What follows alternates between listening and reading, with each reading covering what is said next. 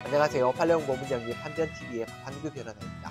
2022년 10월 1일자 판례홍보 형사 손해사정사와 변호사법 위반 사건입니다. 선고일은 2022년 10월 14일이고 사건 번호는 2021도 10046 판결입니다. 이 사건은 이제 의료법 위반과 변호사법 위반인데 피고인과 검사 각각 상고를 했는데 모두 상고 기각된 사건입니다. 피고인은 손해사정사였습니다. 환자들에게 보험 처리에 관한 후유장애 진단서 발급 및 편의를 봐주면서 의료기관과 의료인을 알선해 줍니다. 그리고 그 진단서 발급 비용 이런 것들은 나중에 보험금에서 이렇게 받아가는 거죠. 그리고 또 하나 뭘 했냐면 환자들이 보험사하고 손해배상액을 결정을 이렇게 하면서 이걸 할 때 이거를 중재 또는 화해 주선을 하거나 편의를 도모해 가지고 그 중재해 주는 그러니까 보상을 많이 받게 주겠다고 한 거죠. 그거에 대한 대가를 이제 받은 거죠.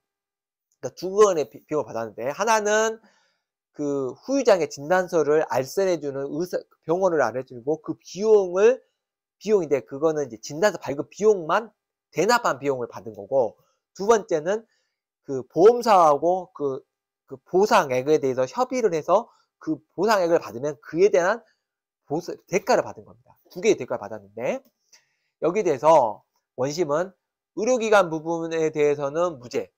왜냐하면 이거는 대가를 받은 게 아니다. 라고 했고, 두 번째, 그 보험의, 그, 그 손해배상에 받은 거에 대가 받은 건 요거는 편의사법 위반이 맞다라고 해서 판단한 거죠.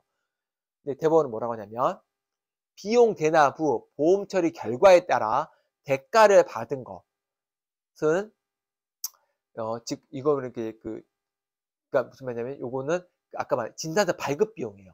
발급 비용 대납을 한 거. 대납을 한 거를 그, 그 발급 받은 거 요거는 알선 중개로 본 거 아니다. 그러니까 이거는 비용 처리 금액이지 알선 중개에 따른 경제 이득을 취득한 게 아니다. 따라서 요거는 대가를 받고 알선 중개 한 게 아니라고 해서 요거는 의료법 위반은 무죄가 맞다 이렇게 보고 배상의 협의 중재는 손해 사정사의 업무 영역이 아니다. 그러니까 손해사정사는 그런 업무 하는 게 아니다. 손해사정사는 손해액이 얼만지를 산정하는 작업이지 이걸 가지고 보험사와 협상하는 일을 하는 사람이 아니다. 따라서 그 협상의 그 대가로 받은 거는 변호사법 위반이 된다라고 보는 거죠.